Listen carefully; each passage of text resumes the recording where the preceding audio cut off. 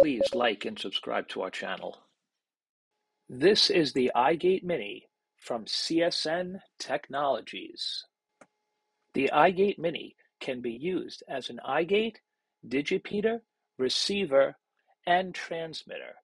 The iGate Mini has a computer, VHF radio, and GPS receiver built in. The SD card is used for storing your track and data received.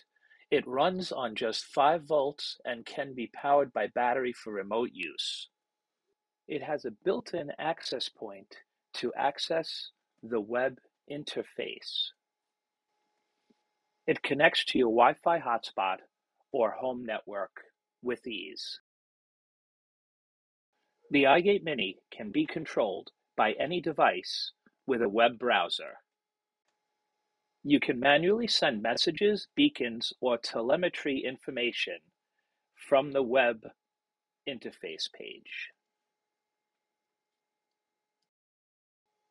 Here is an example of how the interface looks on a cell phone browser.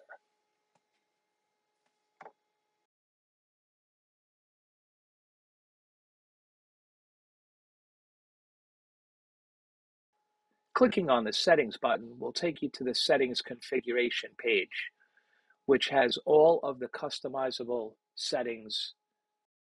Included in the package, you'll get a GPS antenna, an SO239 to SMA connector, as well as a power connector.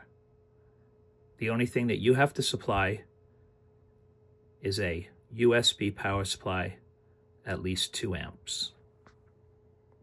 Get yourself on the map and help improve the APRS network coverage with the CSN iGate Mini.